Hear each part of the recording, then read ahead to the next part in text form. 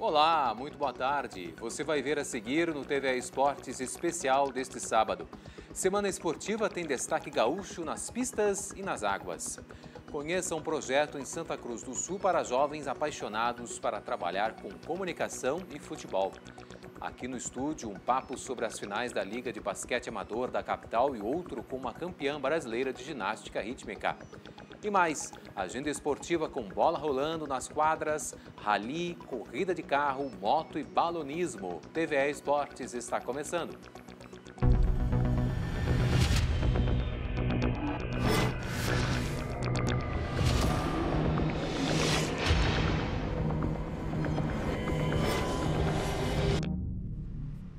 Muito bem, época de Copa do Mundo, o sonho de viver da bola é o objetivo de muitos jovens. Um projeto em Santa Cruz do Sul quer ajudar a concretizar esse futuro. Acompanhe aí na reportagem da Unix TV. Em época de Copa do Mundo, todo brasileiro é um pouco entendedor de futebol. Mas para essa gurizada é muito mais que isso. Para eles, é uma oportunidade de praticar e aprimorar os conhecimentos em uma transmissão de futebol. Eles participam do projeto Aprendiz na Copa, uma iniciativa da Rádio Gazeta em parceria com os cursos da Comunicação Social da Unisc. Foram abertas inscrições para que estudantes, tanto do ensino médio como acadêmicos de jornalismo, é, entre 15 e 23 anos, pudessem se inscrever e pudessem passar por várias etapas. Os vencedores vão é, receber tanto oportunidades de estágio na Gazeta, como também bolsas de estudo na universidade. A gente está muito feliz, muito satisfeito com a, o andar do projeto, com essa parceria, é, na medida em que esses jovens já entram com uma bagagem extraordinária, tanto para a universidade, aqueles que ainda não estão, quanto aqueles que futuramente vão estar no mercado de trabalho. Ao todo, seis jovens seguem no projeto. Divididos em duas equipes, eles se revezam para fazer as quatro principais funções do rádio esportivo: narração, reportagem, comentários e plantão. A Unir é a única menina. Apaixonada por futebol, ela está no terceiro ano do ensino médio e já sabe qual caminho quer seguir. O caminho mesmo que eu quero é o, ser comentarista e depois tentar a narração. Eu estou me saindo muito bem, eu, eu acho assim que eu melhorei bastante com os comentários, reportagem. E hoje eu tentei a narração, coisa que eu não consegui no, no primeiro encontro. Está é, sendo bem legal, estou tendo bastante conhecimento de coisas que eu, da área do futebol que eu não conhecia. Estou planejando até pegar e fazer a faculdade de comunicação. O projeto é desenvolvido durante as partidas do Brasil na Copa. Primeiro, com a transmissão sendo realizada no Centro de Convivência da Unisc. E após os jogos, os jovens participam no laboratório de rádio dos cursos da comunicação de um debate esportivo. Tem sido bastante legal participar. Eu, eu tenho um sonho de me tornar fazer jornalismo esportivo, tenho sonho de me tornar comentarista ou repórter. Não vou conseguir ser jogador de futebol, então já, já sei que eu vou ser jornalista. A gente tem o instagram.com.br exalizados, aí todo o material que eles produzem né, em vídeo antes dos jogos e também durante, né, porque a gente faz materiais uh, na prévia né, da partida e também durante o intervalo. Então isso também é avaliado. Uh, vai ter o, o melhor multimídia na, no final, né, será avaliado também esse critério. Então tudo acaba contando, né, desde o primeiro minuto em que eles estão lá na, na, na estrutura de transmissão, já estão sendo avaliados. Na próxima sexta-feira, às 4 horas da tarde, o Brasil volta a campo para enfrentar a seleção de Camarões. E para os estudantes, é mais uma oportunidade de seguir o sonho de se tornar um futuro profissional da comunicação. Futsal. O Ser Santiago é o primeiro clube a garantir vaga para as finais da Copa RS masculina. A equipe se classificou na última terça-feira ao vencer o La Máquina por 1 a 0 de WO. A representação de São Cepé não apareceu para o primeiro jogo das semifinais no ginásio Aureliano de Figueiredo Pinto e foi eliminada. Além de estabelecer uma multa no valor de 5 mil reais, a Federação Gaúcha de Futebol de Salão proibiu o La Máquina de disputar competições que promove por dois anos. Mais Copa RS e confrontos em quadra acompanha na agenda esportiva.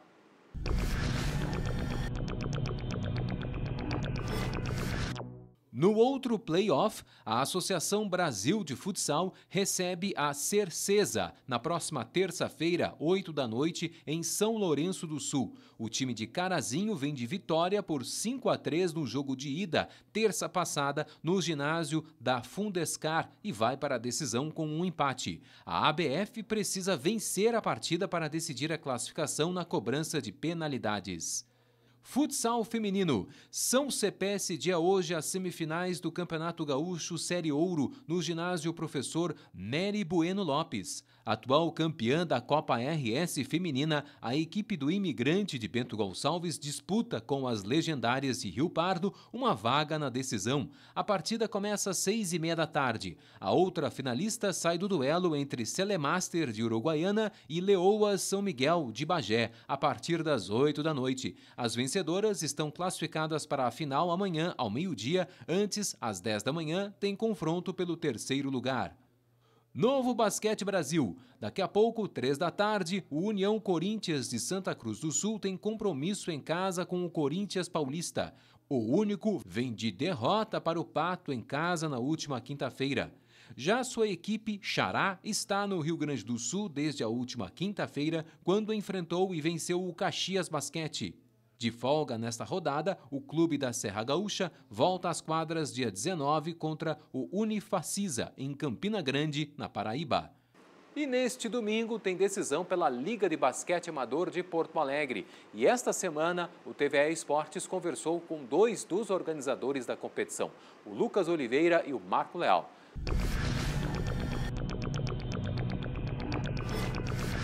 E eu quero que, antes até mesmo de falar das finais né, da, da Liga, vocês falassem um pouquinho da criação da Liga, da trajetória da Liga.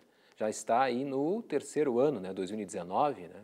Queria que vocês comentassem um pouquinho para nós aí, primeiramente. Boa tarde, primeiramente. Meu nome é Marco, então a gente agradece muito a oportunidade. E estamos no quarto ano, em tese. Quarto ano. É, mas como teve a pandemia, a gente teve as duas edições de 2020 e 2021 que não aconteceram. Tá. Se iniciou. Se iniciou a edição de 2021, mas a de 2020 a gente nem teve como fazer. Aliás, o contrário, né? Se iniciou de 2020, 2021 não teve nenhum jogo. Sim. Ah, Então é a segunda edição que a gente vai conseguir finalizar. Nesse sábado a gente tem o jogo 2 das finais, é a primeira vez que a gente está fazendo em melhor de três, então pode ser que tenha jogo 3 ou não. Mas a LBS iniciou em 2019 como uma vontade dos times aqui de Porto Alegre de ter uma liga de ano inteiro, que os times pudessem ser representados, poder jogar várias partidas, que os atletas se sentissem bem jogando. Então ela já saiu, já surgiu como uma ideia de mudar em relação a outros campeonatos que a gente tem aqui. Já no primeiro ano a gente já teve estatísticas uh, sempre após o final de cada jogo, uh, postagens em redes sociais, uma conversa com os times sobre a melhoria da liga. Então não é uma competição de um organizador só, é uma competição que todos os times têm uma voz. E foi assim que surgiu. Né? A gente surgiu com 18 times que ajudaram a fundar. Algumas dessas equipes saíram, outras pararam por conta da pandemia. E esse ano a gente teve 20. A ideia é já expandir para o ano que vem. Esse ano a gente tem cinco cidades envolvidas: São Leopoldo, Novo Hamburgo, Caxias, uh, Canoas, além de Porto Alegre. Então, sai, não é apenas uma liga eh, de, de basquete amador de Porto Alegre, é uma liga de basquete amador, vamos dizer, região metropolitana ou Rio Grande do Sul. É Uh, isso. O nome é Porto Alegre, mas ela é aberta para todo mundo que quiser jogar, com certeza. Tá, maravilha. Bacana. Bom, o, bom, esse ano, 2022, quantos, quantos atletas no total estão nessa, nessa liga desse ano? É, então, no momento são 20 times, a gente já expandiu um pouco a liga aí nesse sentido. Ah, e complementando um pouco o que o Marco estava falando também, ah, a gente hoje em dia tem- somos três pessoas, eu, ah, o Lucas, o Marco e o Eugênio Estrada também, organizando a liga. A gente sabe que está aqui. Isso, está aqui no estúdio também vendo? acompanhando a gente. E, mas ainda assim a gente tem comissões para várias questões diferentes da liga representadas pelos times, então a gente sempre abre muito para eles conseguirem a gente organizar a liga também. Bacana. É, é quase um, é um trabalho voluntário? É quase um trabalho voluntário de apaixonados por basquete? Muito apaixonado, muito estresse envolvido também, porque é. muita função a semana inteira. A gente tem jogo, a gente teve jogos todos os finais de semana o ano inteiro, então faz uns sete meses mais ou menos sem final de semana, por exemplo. E as questões da liga continuam, né? Porque tu tem postagens uh, diárias nas redes sociais, tem transmissão todos os jogos, tem toda a gente tem uma plataforma de estatística de um dos nossos parceiros, que é o Go Champs também. Então, é muita coisa envolvendo, coisa que a gente nunca teve nenhum campeonato aqui de Porto Alegre no nível amador, né? Então, é um trabalho que não para e é gratificante, é cansativo, mas a gente se sente muito orgulhoso de poder fazer parte disso, né? Acho que o principal também da liga, também completando um pouco o Marco, é que é essa coisa de ano inteiro, é os times poder se desenvolver numa competição, poder ser a longo prazo, poder ter vários jogos, enquanto que a gente via no cenário Porto Alegrense era muito campeonato de um mês, poucos jogos, jogos curtos.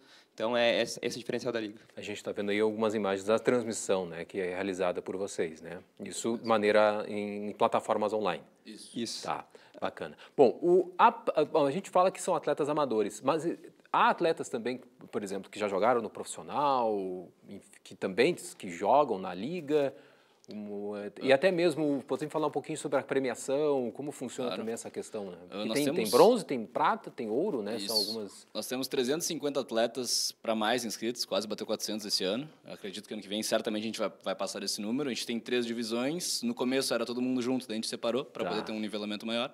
E sim, tivemos alguns atletas que disputaram o NBB e tenho mais cedo passou aí um jogo do Caxias. Isso, jogo do Caxias. Tem dois atletas do Caxias que jogaram a LBA esse ano, que é o Thiago Matias, que foi líder de rebote do NBB no ano passado, e o Dida. Então, é uma competição de nível que está bem alto. Muita gente passou por categoria de base, passou por seleções gaúchas, até brasileiras. Só dando um panorama para os times que estão nas finais. Na Ouro, a gente tem Ressaca e Recreio, que são multicampeões. O Ressaca nunca perdeu nenhum campeonato aqui em Porto Alegre. E o Recreio ganha tudo lá em Caxias, então todo mundo estava esperando para isso. O Ressaca ganhou o jogo 1. Na prata, a gente tem a maior história da competição, que é o Talentos, que se classificou em sétimo e está na final agora, desbancando só favoritos, contra o Bros. E na bronze, a gente tem Black Sharks e RTG, dois times da Restinga disputando. Legal. Então, a gente tem várias histórias bem legais acontecendo. Bacana. Acesso ao público, tranquilo, o pessoal Perfeito. pode uhum. ir lá, poder observar, poder claro, ver o claro. torcida sempre bastante lá e convidados todo mundo para participar. Tá bom, obrigadão pela gentileza. Muito obrigado e agradecemos novamente. Obrigado pelo convite. Valeu.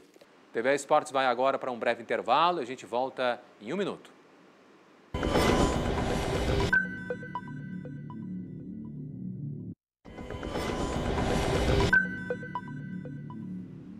Estamos de volta aqui com o TV Esportes e o assunto agora é ginástica rítmica. No final de novembro, as meninas do Grêmio Náutico União conquistaram medalhas no Campeonato Brasileiro da modalidade. E esta semana a gente conversou com uma das campeãs, a Carolina Toneloto. Veja aí como foi.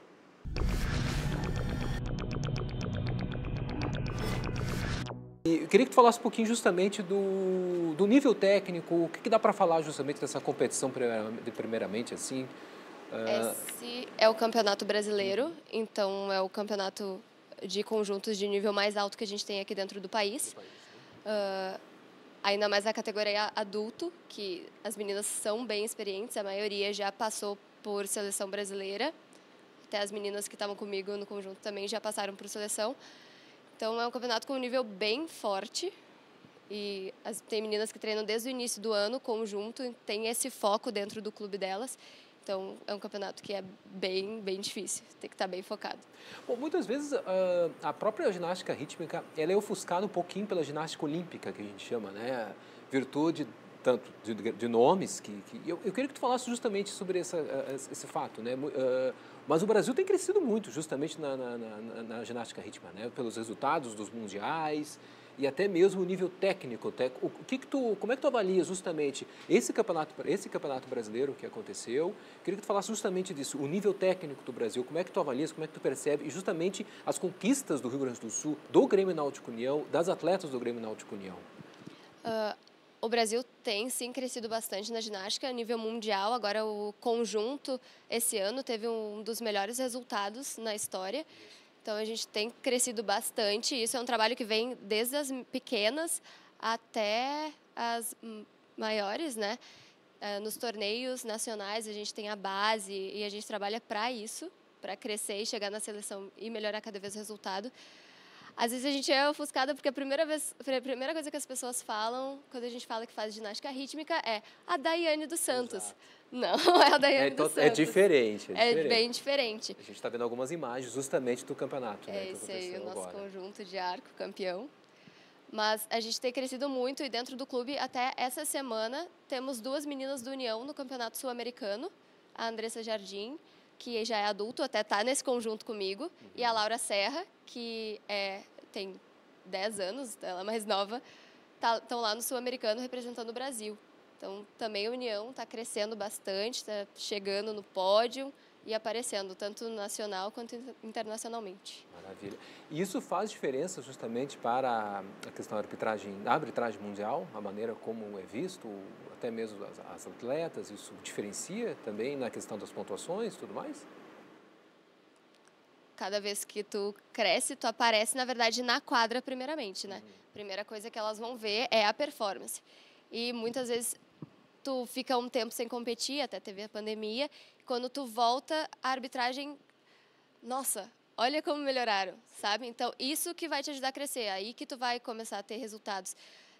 A arbitragem em si não está sabendo o que tu está fazendo dentro do teu ginásio, né? Então, é na quadra que tu mostra e daí sim, melhora para os próximos os resultados, campeonatos. Os resultados, né, os, resultados positivos cada vez, o Brasil se tornando uma potência, sim. até mesmo na ginástica rítmica. Sim, a gente tendo esses resultados, isso também pode, isso pode influenciar sim. muitas vezes na arbitragem? Influencia o olhar um pouco, né? Como, por exemplo, uh, Bulgária, tem toda uma tradição, já entra na quadra, já estão sabendo que vai sair um baita de uma apresentação. Sim. Então, influencia um pouco, sim. É importante eh, eh, resultados como esse, justamente, tanto o Grêmio Náutico União como de vocês, né, do próprio da ginástica, porque o ano de 2021 veio de um período né, de suspensão e o ano de 2022 foi praticamente uma retomada, né? Dá para se dizer que foi um ano perfeito em questão de resultados também, uh, fechando, fechando com chave de ouro, com a medalha. Uh, o que, que dá para dizer mesmo justamente nesse, nesse sentido? Acho que até dá para falar assim que a gente fechou com chave de ouro perfeito só se tivesse sido primeiro lugar todas as competições, Sim. né? E a gente compete também no individual. Então, em agosto, a gente teve Campeonato Brasileiro individual. A gente também teve bons resultados. A gente ficou em terceiro lugar por equipe, né? A soma de todas as notas individual. Ficamos no pódio. Uh, a Andressa também conseguiu uma medalha. Agora a gente conseguiu um ouro, melhorou, continuou no terceiro. A gente foi um ano perfeito não foi, não podemos dizer que foi perfeito, porque a gente sempre mas pode melhorar. Houve, mas, mas houve, houve, claro, nossa, saiu daquele esse ouro foi suspenso, né, se, se, o trabalho mesmo se, surtiu resultados, é perceptível. Esse ouro foi muito importante, assim, pra gente que a gente está há bastante tempo já competindo, né? Sim.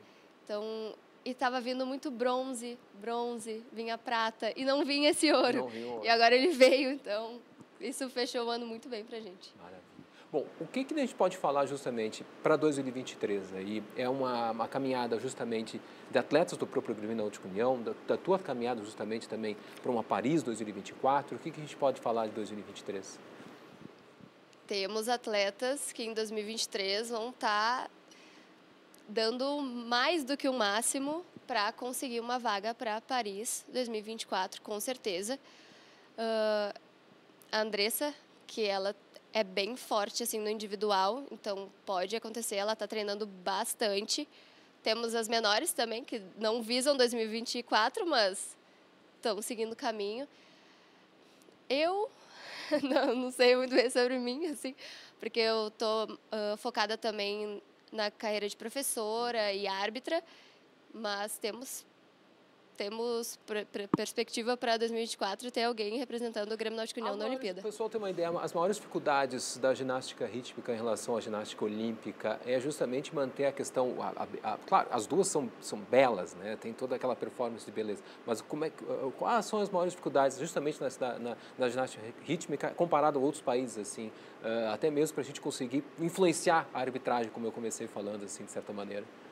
Muito é tradição, né? É que a gente vê, já treinou na Rússia, já viu como são as coisas lá, é diferente. As meninas com 4, 5 anos, elas estão treinando visando medalha olímpica já, porque isso é uma coisa que para a Rússia sempre foi foco, ganhar ouro e prata, né? Aqui é um pouco diferente.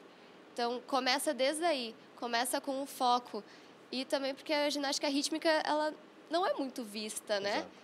Então, as crianças muitas vezes chegam lá e não sabem o que, que é a ginástica rítmica. Já perguntam se vai fazer mortal, se vai ter a trave. Não, não é essa ginástica. É totalmente diferente. E... Totalmente não, tem tipo, boas não. É bem, é bem diferente, bem, bem diferente. Então, tem essa coisa de mostrar para elas onde elas podem chegar. É, é, difícil, porque como não tem muita visibilidade, então a gente tenta dentro do clube mostrar, fazer apresentações que a gente tá lá junto com elas, ver, elas veem a gente na quadra. Isso é importante para elas. Maratona aquática. Nadadora gaúcha campeã brasileira de águas abertas nos 5 e nos 10 mil metros. Os dois pódios femininos foram completados por atletas também do União.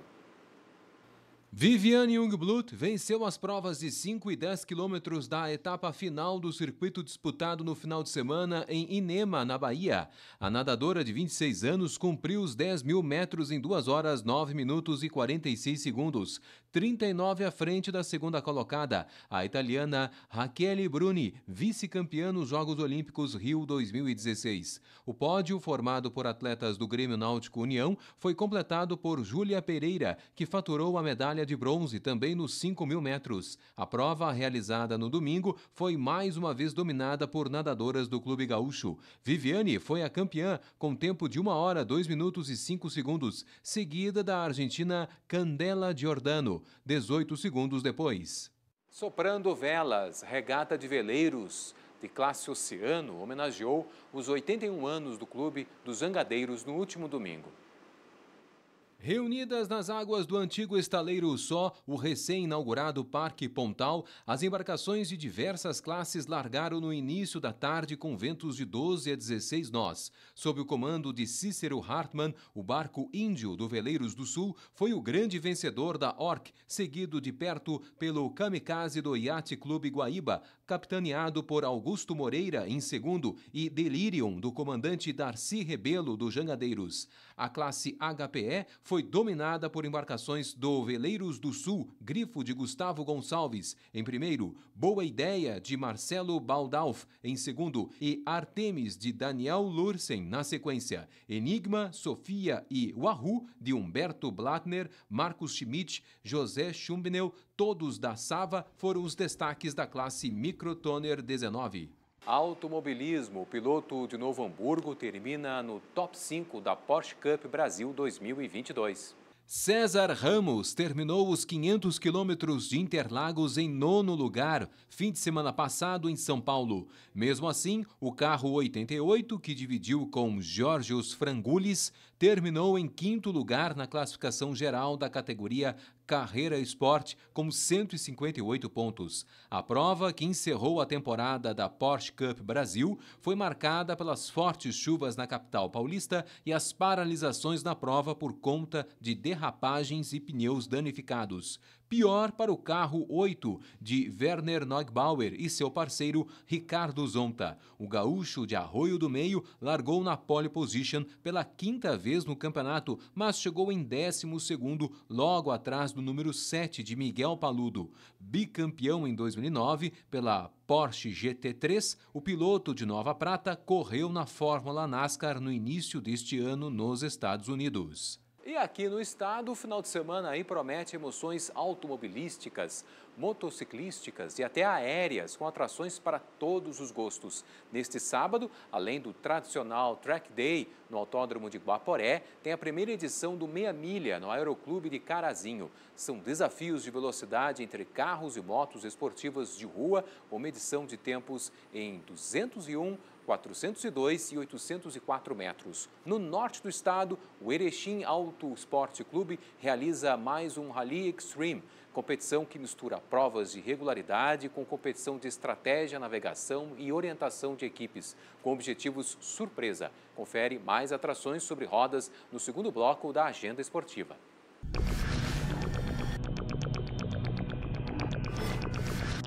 A região de Mostardas, no litoral sul do estado, recebe neste sábado e domingo a última etapa do Campeonato Gaúcho de Rally de Regularidade 4x4. A prova acontece em paralelo com um passeio com rotas off-road pela chamada Península Selvagem, entre a Lagoa dos Patos e a Lagoa do Peixe, em Tavares, passando pelos faróis Cristóvão Pereira e Capão da Marca, o primeiro do Rio Grande do Sul, inaugurado por Dom Pedro II em 1849.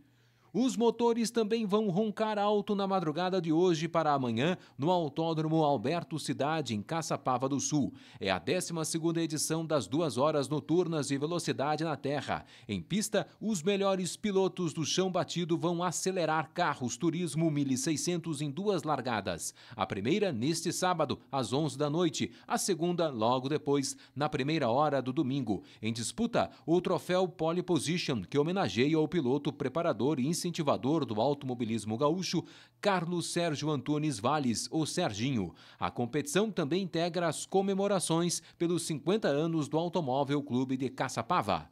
E tem piloto gaúcho com chance de título na etapa que encerra o GT Sprint Race 2022 em duas provas esta tarde no Autódromo Internacional Ayrton Senna em Londrina, Paraná. A primeira largada do Match Point é logo mais 20 para as duas da tarde e a segunda às 5 e meia. O piloto que receber a bandeirada após 23 minutos mais uma volta nos 3.146 metros do circuito somará 25 pontos no overall. O Porto Alegrense Arthur Gama e o seu bole do número 9 lideram a classe Pro-Am com 366 pontos, 30 à frente do baiano Diego Moscato, do carro 54. Vitor Gens, também aqui do estado, é o 11º colocado com 37 pontos. Com 144, César Ramos está em nono lugar na categoria Pro, também sem chance de pódio. Na reta final de sua 11ª edição, o GT Sprint Race é uma das principais categorias do automobilismo brasileiro.